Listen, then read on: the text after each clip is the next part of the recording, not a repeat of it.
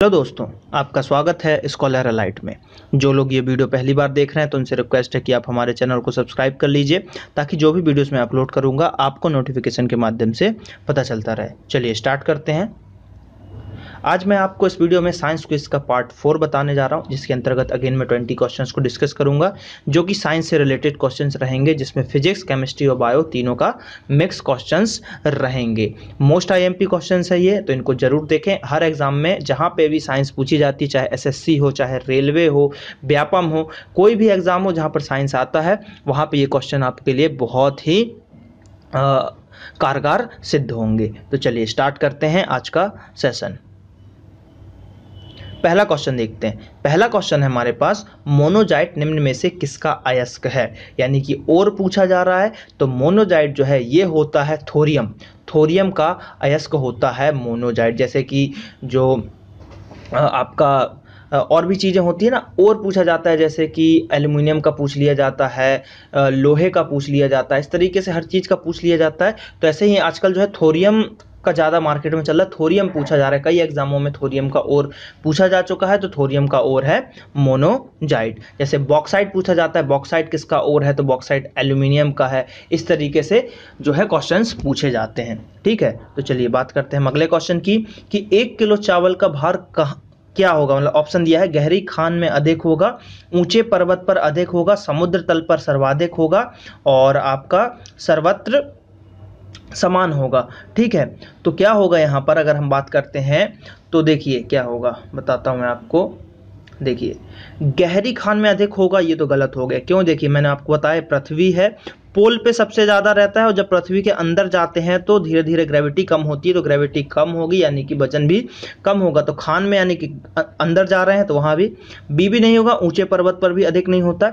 समुद्र तल पे एकदम सही आंसर है, समुद्र तल पे जो है सर्वाधिक होगा। यानी कि या तो देखिए, पृथ्वी के सरफेस पे होता है, ठीक? पृथ्वी के सरफेस पे होता है सबसे ज़्यादा आपका ग्रेविटी वज़न किसी भी चीज़ का।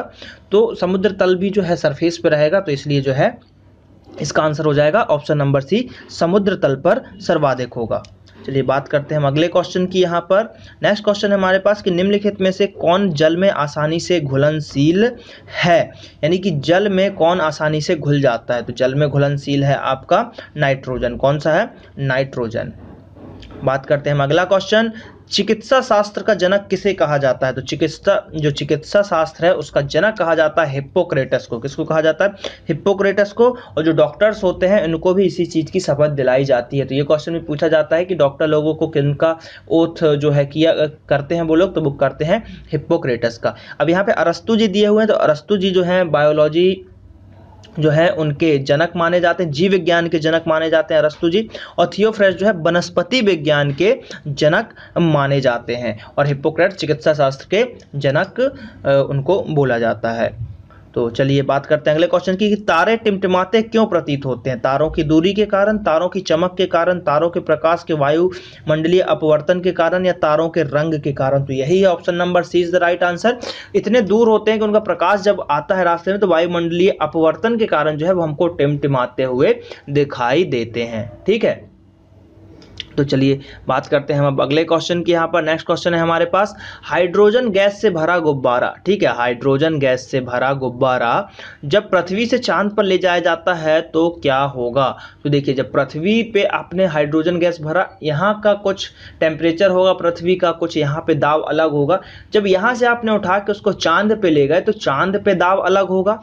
ठीक है, चाँद पे दाब अलग होगा। अब चाँद पे दाब अलग है, वहाँ का प्रेशर अलग है, यहाँ का प्रेशर अलग है, और तो वहाँ पे जाके क्या होगा कि वहाँ पे गुब्बारा फट जाएगा। क्यों? ठीक है, फट जाएगा। ठीक, चलिए। बात करते हैं हम अगले क्वेश्चन की यहाँ पर। तो नेक्स्ट क्वेश्चन है हमारे पास कि इलेक्ट्रॉन की खोज किसने की थी? तो इलेक्ट्रॉन की खोज की बात करें तो ऑप्शन है हमारे पास थॉमसन नीलबो नील्सवोर, रदरफोर्ड या फेराडे। तो यहाँ पे आंसर हो जाएगा जे जे थॉमसन इसकी ट्रिक ऐसा है कि इलेक्ट्रॉन बहुत ही तेज़ी में इधर उधर भागते रहते हैं तो उनको जो है थाम के रखना पड़ता है। क्या करके रखना पड़ता है? थाम के रखना पड़ता है। तो जे थॉमसन ने इलेक्ट्रॉन की खोज की थी। और रदरफोर्ड ने क्या किया था? रदरफोर्ड ने भी एक सोने की पतली प्लेट ली थी। उस अल्फ़ा करोड़ की बौछार की थी। तो उनसे उनको ये पता चला था कि अल्फ़ा कर्ण जो है, कुछ मुड़ जाती हैं, कुछ सीधे चली जाती हैं। इस तरीके से चीज़ें उन्होंने बताई थी। अल्फ़ा, बीटा, गामा, तीन कण, ये ये सब चीज़ें बताई थी, जो मैंने आपको पिछले पार्ट में डिटेल में बताया हुआ है। ठीक, अब आपका क्वेश्चन ये है यहाँ पे कि नील्स बोर ने क्या किया था? उन, ये क्या, इन, ये किस लिए फ़ेमस है? आपको ये कमेंट करके बताना है कि नील्स बोर जो है, उन्होंने किस चीज़ की खोज की थी? ये आपको कमेंट करके कमेंट बॉक्स में बताना है। चलिए बात करते हैं हम अगले क्वेश्चन की यहाँ पर। नेक्स्ट क्वेश्चन है हमारे पास कि एक लिफ्ट में एक समान वेग से ऊपर जा रही हो तो उसमें स्थित व्यक्ति का भार क्या होगा? देखिए क्वेश्चन को थोड़ा ध्यान से समझिएगा। लिफ्ट वाला क्वेश्चन है, आप डायरेक्ट आँख मूंद के इसको नहीं लगा सकते। यहाँ पे एक वर्ड आया हुआ है, एक समान वेग से। ठीक है? तो अगर, देखिए, इसका आंसर पहले बताता हूँ कि अपरिवर्तित रहेगा, यानी कि जो भार है वही एक समान क्योंकि वेग से जा रहा है। लेकिन यही क्वेश्चन अगर चेंज हो जाता कि एक लिफ्ट में एक व्यक्ति एक समान त्वरण से ऊपर अगर जा रहा है तो उसमें क्या होगा? एक समान त्वरण। अगर एक समान त्वरण शब्द आ गया एक्सिलेशन वर्ड आ गया कहीं भी तो जब लेफ़्ट में आप ऊपर जाओगे तो आपको वज़न लगेगा कि मेरा वज़न बढ़ गया है। और एक समान एक्सिलेशन से अगर वो नीचे आएगा तो क्या होगा? आपको लगेगा कि आपका भार जो है घट गया, हल्का प्रतीत करेंगे, ठीक है? और अगर डोरी टूट जाती है तो ज़ीरो ग्रेविटी आप बिल्कुल फ्री घूमने लगेंगे, आप वैसा महसूस करने लगेंगे, ठीक है? तो चलिए अगला क्वेश्चन जीव द्रव के पृथककरण एवं संयोजन से संबंधित वनस्पति विज्ञान की शाखा कहलाती है। यानी कि जीव द्रव की बात की जा रही है। तो यहाँ पे पहला ऑप्शन है एग्रीकल्चर देखिए एग्रीकल्चर तो नहीं हो सकता, ये खेती वगैरह से रिलेटेड है। हॉर्टिकल्चर आपका बागवानी से रिलेटेड है तो ये भी नहीं होगा आपका। टिश्यू कल्चर को छोड़ते हैं अभी।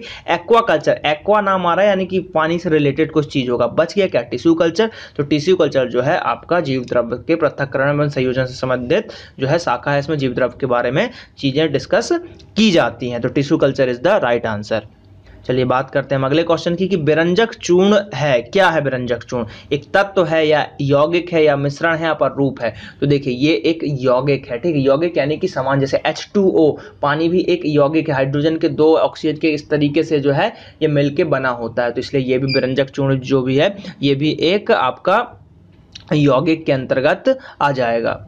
चलिए बात करते हैं हम अगले क्वेश्चन की कि परमाणु घड़ी निम्न प्रभाव के अंतर्गत कार्य करती है, यानी कि परमाणु घड़ी जो है, किस प्रभाव के अंतर्गत आती है? तो ये बहुत ही सिंपल है, इसका आंसर है पीजो इलेक्ट्रिक प्रभाव। कौन सा?